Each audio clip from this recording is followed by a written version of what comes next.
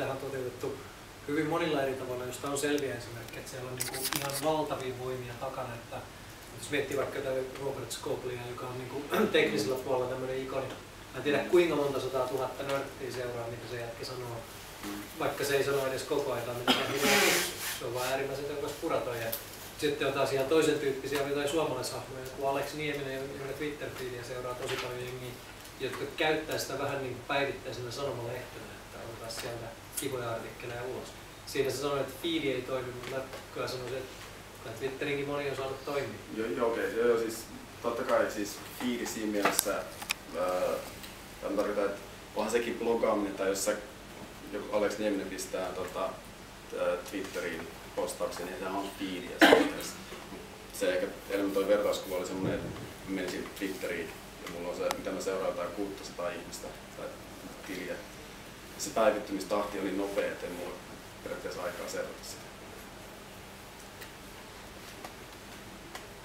Öö, se oli ruskea Joo, tämä on ihan mielenkiintoinen ja antaa jatkaa tuolla raiteella, mutta tämä 80-20 ei ole mitään uutta kyllä auringon alla. Tuolta löytyy Leonardo da Vincin suosituskirja itsestään jollekin kaupunginjohtajalle, jossa ainakin 95 prosenttia on sitä, millaisia sotakoneita hän pystyy tekemään. Sen jälkeen siinä mainitaan yhdessä ratsastajapatsoista, mutta lähinnä siitä, että miten, miten komelta tämä, tämä tota, kaupungin valtias näyttää sen ratsastajapatsaan päällä ratsastaessaan. Ja sitten siinä taitaa olla loppulause siitä, että voin myös tämän lisäksi tehdä jotain maalauksia tai vastaavia. Tämä on ollut niin koko, koko niin kirjankustannusalan niin historiallinen, tai, tai Suomessa historiallinen lähtökohta, että niin kuin myydään suosittuja kirjoja ja niillä kustannetaan vähemmän suosittuja kirjoja, niin se on vähän niin kuin rapistunut viime aikoina. Voisin sanoa tähän, kun oli äsken sitä keskustelua siitä, että kuinka luotettavia niin kuin blokkaajat on ja mikä on journalismi ja muuta, niin kyllä, kyllä meilläkin on tullut jo tässä niin kun tätä tutkimusta tehdessä niin vähän yllättävällä tavalla aina välissä vastaa se, että, että kyllähän niitä houkutuksia sitten tulee. Kun susta tulee suosittuja ja muuta, niin rupeaa tulemaan ilmasta elektroniikkaa postissa tai, tai muotikuteita tai mitä hyvänsä. Ja, ja se, sitä on niin kuin vaikea, sille on vaikea sanoa ei, varsinkin jos on, ei ole aiemmin ollut oikeastaan mitään. Ja tota, jokainen suomalainen, joka on tehnyt IT-toimittajahommia, niin tietää se varsin hyvin, miten sieltä yhtäkkiä tulee kaiken näköistä kivaa ja sitä ei ihan pakko palauttaa.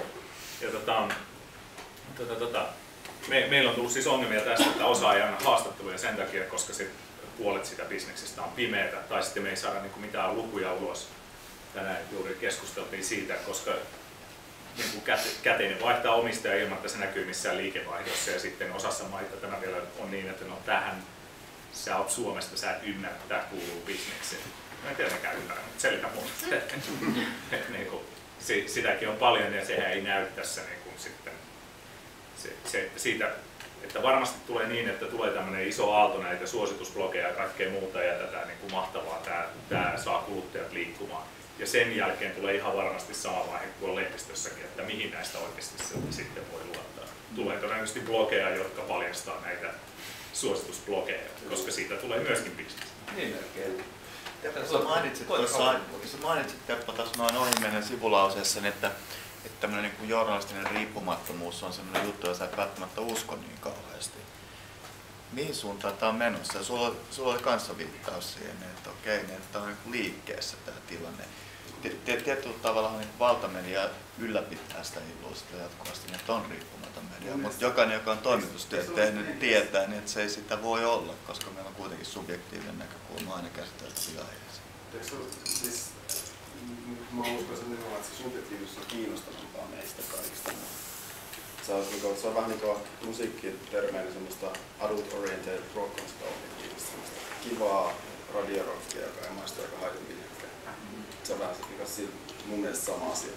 Eikö se ole just tämänkin tutkimuksen joku, että just jos sit joku on niin sanotusti, että vähän poikkeaa siitä liian kauas siitä objektiivisuudesta, niin sit siellä on joku toinen, joka tuo ilmi sen, että tämä nyt poikkeaa liian kauas siitä objektiivisuudesta. Niin, kyllä se crowd, niin crowd toimii myös siihen suuntaan, että tota, se on niinku semmoinen, siis perusideahan niin journalismissa ja tieteessä on, niin kuin, että että se, että I'm thinking ei ole niin mikään perustelu, vaan eikä se ole kiinnostavaa, vaan se, että tässä on näitä faktoja, mitä me ollaan saatu selville ja tässä on se, mitä, mitä, mikä on minun mielipiteeni siitä aiheesta. Niin kuin näillä perusteilla minä ajattelen sitä näin. Ja sehän on niin kuin miten journalismissa ja laatulehdissä sä voit esittää sun mielipiteesi. Toisessa jutussa sä kerrot faktat, toisessa sä kirjoitat siihen näkökulman ja yrität pitää ne niin kuin erillään. Ja se, se on se tapa, millä tavalla sä voit yrittää päästä sitä subjektiivisuudesta eroon, mutta jos seuraa amerikkalaista poliittista luokkausta, niin sehän on ihan mahdotonta, koska siellä ei sen sijaan, että, että edes yritettäisiin esittää faktoja, niin oikeasti keksitään faktoja, jotka sitten niin kun tukee sitä sun näkemystä. Ja sitten kun ihmisillä ei ole mitään mahdollisuutta tarkistaa niitä, niin ne ottaa ne sen totena. Ja tästä on syntynyt jo Amerikkaan fact checker-palveluita ja tämä, mitä sä kuvasit Briteissä, että ruvetaan oikeasti tsekkaamaan näitä blokkaajien puheita ja myöskin valtamedian puheita, että pitääkö ne paikkaansa. Sitä paitsi kaupallisesti on helpompi, helpompi monetisoida tällainen avoin puolueellisuus kuin riippumattomuus, täysin, täysin riippumattomuus, koska riippumattomuutta ainakin Suomessa löytyy teoriassa kaikkialta, mutta niin puol- tässä niin vahvaa puolueellisuutta, joka vetoo hyvin tiukkaan kohderyhmään, niin sitä ei ole niin paljon. Niin, ja itse kun kirjoitan Hesarin kolumneja, niin tiedän kokemuksesta, miten paljon helpompaa kirjoittaa niin kuin juttu, joka suurin piirtein perustuu faktoihin, kuin se, että sä oikeasti kirjoittaisit juttuja että niin kuin, ja, ja siihen, siihen kolumniin. Että se, ne on kaksi ihan eri asiaa. Että, että, se on hyvä pointti. Se on vaan halvempaa tehdä se opinieri biisi, jossa on ripaus. On jopa kiinnostavampaa. Tälleen. Niin, siis Ei, se on- ei, ei. Siis ei- se, on, se on varmaan kiinnostavampaakin, ja, mutta, mutta onko sillä, kuinka pitkät jäljet sillä on ja, ja miten ihmiset lukee sen. Mä luotan aina siihen. Avoin bias on sellainen, mikä, niin kuin, on- mikä, Joo. mikä Suomesta puuttuu. Et, et on, on niin kuin, tällaisia, tällaisia, kaikki tietää, että joillain lehdillä on niin jotain, tai medioilla on, on tiettyjä tällaisia ää, bia- biakseja johonkin suuntaan, mutta sitä ei ole avointa samalla tavalla kuin jossain Jenkeissä. Eli avo, avo, avoin tota, puolueellisuus, niin se itse asiassa sitä kerää fanijoukon, koska on samanmielisiä, jotka, jotka niin kuin innostuu siitä niillä siellä kerää mainostajia, koska niillä on selkeä kohderyhmäjako ja pystyy rakentamaan sen demografian tosi kivasti. Ja sitten sitä on kiva, kiva kirjoittaa, koska ei tarvitse miettiä niin tarkasti. Mutta sitten kerää myös vihamiehiä, jotka myöskin seuraa sitä, koska nämä haluavat taas niinku katsoa, että mitä ne taas kirjoittaa. Sillä saa näyttöjä. Annika, kyllä tässä sitten, jos tulevaisuus menee tähän suuntaan, mitä te kuvaatte, niin jonkin ajan kuluttua käy niin, että ne faktat on niin harvinaisia, että ne on se kaikkein arvokkaan osa, josta tullaan maksaa tosi paljon.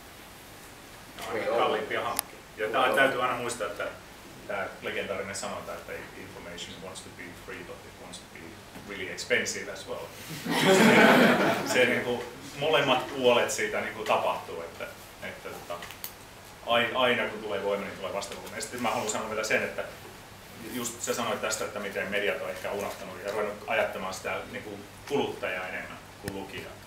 Niin se, se on tosi hyvä, hyvä pointti, että lukijat ja se crowd, joka on siellä ruudun takana tai siellä näppäimistä ääressä, niin eihän ne ole tyhmiä ihmiset. Ja varsinkin kun niitä on iso joukko, niin se, se just, että joukossa tyhmyys tiivistyy, niin ei, ei pidä pitää paikkaansa, mutta myöskin se pitää paikkansa, sieltä löytyy tosi paljon fiksuja ihmisiä ja, ja ihmiset toivottavasti sitten käyttäytyy myös fiksusti ja, ja toimii niin kuin järkevästi siinä. Että, että en menisi ihan niin kuin muutamia amerikkalaisten journalismin tutkijoiden ajatuksia siitä, että siellä on vaan mob mentality ja niin kuin everything's going to shit, koska niin kuin ihmiset käyttäytyy joukkona huonosti. Alright. Vielä, joo, vastaa sitten toinen. Tai yksi kysymys tuosta pöydän päästä ja sen jälkeen mä sanon muutaman sanan. Mä en saa sulla vastaamassa. Joo, ei se mitään. Mä yhden jutun, mutta sano vaan sun kysymys. Joo. Mua kiinnostaa lailla, kun puhut musiikkipuolesta. Joo. Siellä puolella on käynyt niin, että aikaisemmin on laaja skaala erilaisia levyyhtiöitä. Ja, ja nyt kun tämä digitaalisuus on tullut, niin oikeastaan siellä on vaan tosi isoja toimijoita tai tosi pieniä. Kaikki siitä keskikokoiset on niin hävitty. Niin mitä te näette, että onko tämä niin tulevaisuus myöskin täällä journalismin puolella? Ah, niin kuin sanoin, music, magazineista, että mä tästä nyt puhuin magazineista, että journalisti seuraa musiikin niin tämmöistä kohtaloa. Mä uskon siihen, tai siis musiikkihan on siihen, että monet alkaa julkaisemaan itse sitä musiikkia. Ne ei enää ota mitään levyyhtiöitä välillä, koska alkaa olla markkinointikanavat jo olemassa teknisesti esimerkiksi sosiaalisessa verkostossa tai sitten jakelukanavalla niin kuin Spotify kautta. Että ne ei edes tarvii sitä koneistoa enää sen väliin, koska ennen, mä tein Emille musaa, niin me tarvittiin se koneisto, että me saatiin asiat eteenpäin. Niin öö, itse asiassa on varmaan räjäyt, mä en nyt tiedä tarkalleen, mutta se on varmaan räjäyttänyt semmoisen niin self-publishing musiikkipuolella aika paljon. Ja sitten tietenkin, koska business kun kuihtuu tai se niin rahamäärä pienee, niin totta kai siinä tulee konsolidointia niin siellä yläpäässä. Et mä uskon, että hyvin paljon tulee tapahtumaan myös samaan journalismissa. Mutta ei, ei, ei, Suomessakin on niitä isoja toimijoita niin sanomaan, sanomaan he pysty laajenemaan enää kilpailuoikeudelliset säännöt sanoo, että, että sun markkinaosuus on yli 50, 50 Jos on jotain Euroopan laajuinen, niin varmasti tulee konsolidointia tapahtuu Euroopassa. Näin. Se otetaan ehkä lakimiehet päättää, tai jos eduskunta päättää, että saako sanoma laajentua vai ei. Se oli vielä Euroopassa Heitä vielä takapulkatista yksi kommentti. Jos vielä tuosta musiikkivertauksesta kysyn, hyvin se toimii, jos, jos niin miettii muutamia tämmöisiä isoja eroja. Musiikki on usein sellaista, jota kulutetaan ja kulutetaan uudelleen ja uudelleen. Ja se on hirveän hittipohjainen bisnes. Ja se on sellainen, että sä tykkäät kuunnella tyypillisesti sellaista, mitä kuuntelit nuoruudessa sitten niin kuin läpi elämän. Melkeinpä riippumatta, oot se klasarityyppi vai oot se niin poppityyppi. Ja sitten jotain niitä ristisiitoksia, hintaita, harvinaisia. Nyt jos mennään, mietitään enemmän tätä julkaisupuolta, niin tämä on tämmöistä niin kuin kertakulutusta. Ja siinä on ehkä sama malli subscriptionille, mutta sen kulutuksen kohde on kertakulutustuote versus tämmöinen niin kuin uudelleen ja uudelleen kulutettava tuote. Ja sen takia minusta se niin kuin mallin vertaaminen ei, ei, ei voi suoraan toimia. Sen täytyy olla erilainen pelkästään tämän, tämän niin kuin kulutettavan artikkelin luonteen vuoksi. Ja sitten kun miettii sitä tuotantokonetta, niin ne on viritetty samalla tavalla. Toissa tehdään niin kuin kalliissa studiossa hiomalla hioen niin pienintä nippeliä myöten, että se kestää kulutusta ja uudelleen kulutusta, kun taas toinen on paljon enemmän silleen, niin mahdollisimman halvalla, tosi nopeasti ja hirveän vähän just sitä feature-artikkeli, jossa aletaan käyttää enemmän rahaa ja, ja, ja tehdään kunnolla fact-checking niin kuin ihan viimeisen päälle. Ja jos tätä mallia niin kuin venyttää, niin musta te, mitä niin kuin syömälle siinä menee, niin sitä enemmän ne on erilaisia. Mun on hirveän hankala että se toimii, vaikkakin mun on yhtä aikaa hirveän helppo olla samaa mieltä sun kanssa. Kyllä, voi olla täysin mahdollista, että tulevaisuudessa kaikki laatujournalismi, mikä on ehkä jonkinlaista kuratointia, tulee olemaan subscriptionin varassa, koska muut liiketoimintamallit ei lennä. Ne on liian kalliita kerta, kertatransaktioita. Mä en, siis tarkennat sä, kenelle se on hittibisnes? Tämä johdantava kysymys, mä kerron minkä, minkä takia mä oon eri mieltä. Mm, ottaa Spotifyn tai ottaa oikeastaan melkein minkä tahansa sydämen, niin hirveän pieni niche-markkina, siis, siis todella todella pieni, jos se, joka keskittyy etsiin uutta musiikkia ja kuuntelee sitä päivittäin. Ja niin kuin 99,99 prosenttia porukasta kuuntelee samaa kuin eilen ja kuuntelee samaa kuin 15 vuotta sitten. Ja siinä on niin kuin pieniä variaatioita, että kun niihin vähän kyllästyy, niin kuunnellaan taas radiota 15 minuuttia. Tähän kysymys. Kuinka moni teistä löytää, kuinka moni käyttää Spotify tai vastaavaa subscription musapalvelua? Kaikki. Onko se auttanut teidän niin musiikin löytämisessä, uuden musiikin löytämisessä? Mä olen samaa mieltä. Eli ensinnäkin semmoinen subscription, se, että sulla on niin hillitön massa sisältöä, josta sä voit lähteä uimaan sinne sekaan, niin pistää sitten sormen semmoiseen virtaan, niin auttaa mun mielestä löytämään uutta musiikkia, joten se, mä väittäisin siinä vastaan, että se subscription-malli ei tue sellaista hittipohjasta, sitä, että me kuunnellaan samaa biisiä uudestaan ja uudestaan ja uudestaan. Totta kai, kun löydetään se joku biisi, niin se varmaan kuuletaan sitten sata kertaa. Mutta sitten me taas lähdetään etsimään sitä lisää uutta. Ja toiseksi se, kaikki, yk, sano mikä tahansa iso niin musiikkialan artisti, niin niiden se business, se niin menestyminen perustuu siihen, että niillä on pitkäaikainen ura, ne on pystynyt tekemään uudestaan ja uudestaan sen niiden hittilevyn tai hittibiisin. Niin sekä ei tue sitä, että musiikki olisi semmoista niin one hit, one per business. Siis totta kai on niitä semmoisia yhden hitin juttuja, mutta se ei ole bisnestä, se on sitten sattumakauppaa. Öö, mutta siellä levyyhtiöillähän se silloin on, jos niillä on tarpeeksi niitä hittejä. Niin...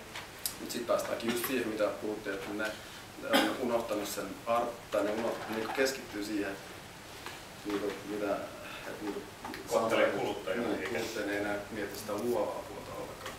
Ja sitten mennään, sit mennään kyllä tosi väärälle suuntaan. Niille, jotka- Niille, jotka on kiinnostunut, mä en valitettavasti pysty siteraamaan lukuja, kun en ole katsonut niille, jotka on kiinnostunut tutustumaan tähän, niin parasta aikaa Google.com, joka on siis tämmöinen maailmanlaajuinen data-analyysi kilpailuverkosto, ne on julkaissut tosi ison tietokannan nimeltä One Million Song Database, jossa on monesta eri lähteestä mukaan lukien lasta FM ja niin poispäin. Niin järjetön määrä dataa, mä en muista, onko se 380 gigata vuodessa ladaat se omalle levylle alat ruksuttaa sitä, jonka tarkoitus on pystyä ennustamaan, mitä jengi kuuntelee. Mutta se yksi isoimpia helpompia toteutettavia malleja on se, että poimitaan hitit ja ennustetaan, että sä kuuntelet hittejä ja yhtäkkiä me selitetään 80-90 prosenttia jengin musiikkikulutustottumuksista. Ja mä oon ihan samaa mieltä sun siitä, että silti uusia helppo löytää ja jengi varmasti lähtee niitä etsiä, kun puhutaan niin kuin massoista ja siitä, missä se raha kulkee. Se 80-90 pinnaa on toistuvaa ja se on hirveän pieni joukko kappaleita siitä miljoonasta, miljoonasta musiikkikappaleesta. Mutta tähän voi kaikki Niin, tutustua me- itsekseen, ei tarvitse voitais- luovuttaa. Tässä voitaisiin keskustella hirveän pitkälle jo siitä, että onko hitti asia niin menee vähän siihen, että hitti on niin huono asia. Hittibiisi on jotenkin vähemmän arvokkaampi kuin semmoinen Siihen pitää ollenkaan tämän päivästä. Niin, mä oon samaa mieltä. Mut siis, niin. Alright, päätettiin musiikkipiste. tota, äh, semmoinen kysymys nyt tässä vaiheessa, kun lyön pelin poikki, niin tota, että kiinnostaako elokuussa and Hackers kuinka montaa täällä? Kassit, käsiä on sen verran ylhäällä, että elokuussa on jonkinlainen and Hackers. Syyskuussa meillä tulee olemaan Grande Joo, joka tapauksessa syyskuussa, mä en muista ihan tarkalleen, mutta syyskuun puolivälin jälkeen järjestetään ää, toi Open Knowledge Festival, joka on niin kuin suurin avoimen tiedon festivaali koko Euroopassa tai maailmassa tai jotain tämmöistä näin, niin Helsingissä järjestetään syyskuussa. Ja sen yhteydessä me hyvin todennäköisesti järjestetään sitten and Hackers ja, tota, saadaan puhujia siellä.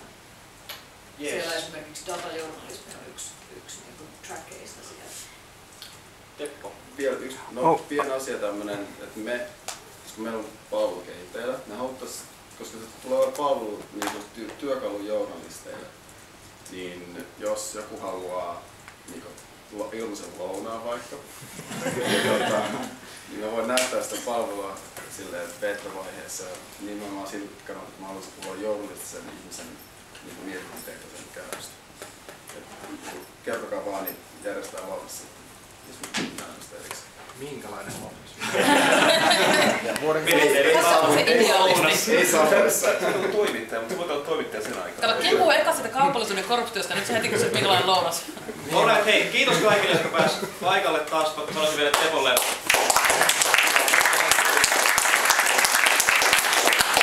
Niin, tota, tänne voi jäädä, puhukaa aiheesta, heittäkää ilmaan kommentteja, tulkaa tänne eteen ja kertokaa ne kaikille, jos haluatte. Nähdään ensi kerran elokuussa. Meetupista saatte selville, että milloin meidän elokuun kokous on. Toivottavasti myös Facebookista, mutta Meetup nyt yritetään siirtyä, että se on hiljalleen. Ja voitte, ja voitte myös kaikki ehdottaa siellä puhujia ja aiheita. Myös itseään saa. Kiitos, se on järjestetty.